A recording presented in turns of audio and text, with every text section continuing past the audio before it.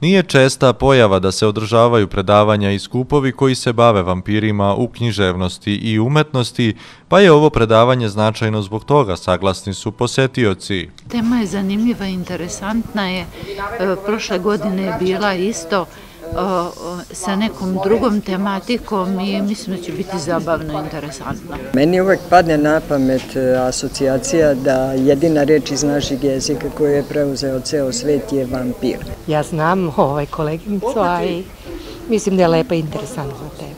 Svake godine Rumski muzej pokušava da organizuje veče posvećeno narodnim tradicijama i običajima, a tokom prethodne godine otvorena je tema vampira, pa je ovo predavanje samo produbljivanje te oblasti, ističe autorka predavanja. Iz naše tradicije se pojam vampira raširio i u svetsku književnost i filmografiju. Večeras tema je mnogo zahtevna, mi ćemo pokušati samo na e, nekoliko naših dela i posvetit ćemo se našim autorima koji su e, iskoristili taj pojam vampira i vidjet ćemo na koje načine su ga iskoristili. Da li kao bajku, da li kao kritiku e, društva ili uopšte kao